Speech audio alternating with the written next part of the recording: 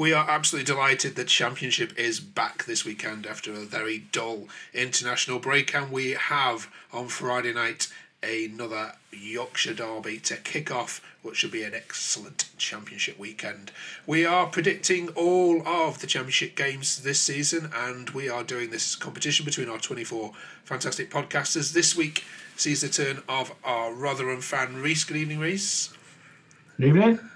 All right, you ready for this now? Last week, um, our Birmingham fan um, managed to get 10 points. So, three points for the correct score and one point for the correct result. He managed to accurately predict nil nil in the QPR game, um, beating nice. my score of nine. But our uh, our actual uh, viewers uh, managed to beat him as well. So, congratulations to uh, Holy Countdowns, who predicted um, one correct result and uh, seven. Uh, sorry, one, one correct match and seven results. So let's see if you can do any better. We'll start with your game. Um, Friday night on Sky. Looking forward to it.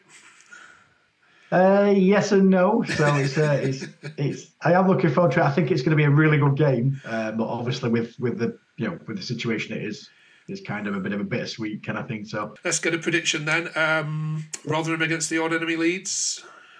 uh, I'm going to I'm going to say I've got to say it, it's going to be a draw. I think I'm going to put one. I can't I can't say that Leeds are going to win. So I'm putting a one-one draw for this one. Okay. All right. Well, I'm sorry for my prediction, but um, if you did appointed No, a new, if you did have appointed a new manager, um, then I would have uh, been a little bit more um, in your favour. You are very good at home as well, aren't you? Or certainly Yeah, yeah, yeah, so- But I've gone four 0 just just the way that Leeds are playing. So Okay, fingers crossed uh, we do well. I hope I'm wrong. Yeah. Okay. Okay. then going on to the uh, Saturday games then. So interesting one. This one. It's a must win for Birmingham. Um, Rooney's still looking for his first win. Do you think he'll get it against the Owls? I think so. I think uh, Wednesdays have only won one game at the this season. Uh, they were against us, unfortunately.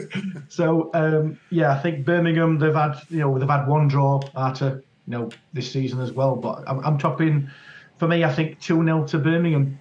2 0 Birmingham. Okay. Yeah. Um, we must be uh, yeah, Oh. telepathic. Yeah, that's exactly what I went with as well. Yeah, I can't I can't see uh, Sheffield Wednesday upsetting Birmingham, but can you just Yeah. imagine what St Andrews is going to be like on 70 minutes if Wednesday go 1 0 up? Just, just imagine. Yeah, exactly. I think Twitter's going to have a meltdown. Yeah. Yeah, I hope Sheffield Wednesday don't like him. It's me for a Rotherham fan, but it's just like. All right. Okay, next one then. Uh, Bristol City. Uh, Liam Manning is uh, his home debut against the Boro. What you come with this one? Uh, Bristol City. Oh, it's a tough one, I think. Um, that's- I'm putting down, I think, um, 2 0 to Middlesbrough. I reckon. okay. Yeah, I went 1 0 Boro. Yeah, it's going to be a tight one. I don't think it's going to be an easy game for uh, for Boro, but I think they'll just, perhaps just have the edge. Yeah, and not to mention, I think I think Middlesbrough's won, you know, quite a few games compared to Bristol. One more, I think, than Bristol City have. So Um, now, I don't know what the possession stats are going to be like in this one, but Southampton are a team that like to keep the ball, and Huddersfield are a team that don't mind the other team having the ball at the moment. So, um, which way do you see this one going, Reese? Oh, at the minute, uh, again, like I said, I've done a bit of my own work. I think Southampton. I think they've only draw, they've won most of the games and draw one compared to Huddersfield's three losses and one win and a draw. So I think it's odds are tipping to Southampton. I think um, I'm saying one 0 to Southampton. That's exactly what I went with as well, and a 90th minute winner as well, which is what they love doing uh, Oh, right. away from home as well. Yeah. Okay, um, fascinating one now. Leicester are having a bit of a wobble, but they're also uh, coming up against a Watford side un- unbeaten in six. How do you see this one going? Yeah, I mean, again, like Watford's been doing really well this season. Um, and Leicester's lost two the last two games, haven't they? So again, I've, I've got a tip. I think it's going to be a two 0 win, me to Watford. Ooh. okay. Yeah, yeah, yeah. You're I set, think lot, gonna- lot- set a lot of Leicester fans there. I think one one.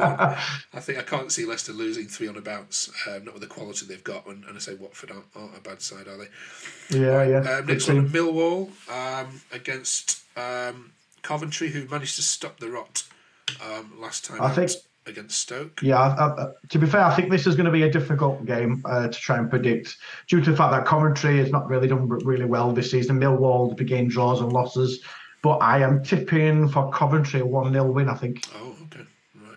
I've gone. I've gone Millwall two one. Um, 'cause I think Okay, the new- yep. I think the new manager's gonna gonna get them playing and watch out for Millwall this season. I think they're going to surprise a few Um, that's my view anyway. Um, Norwich against QPR. Who'd have thought this would be a battle closer to the bottom? But um, hard team to predict. Norwich. What do you reckon to this one?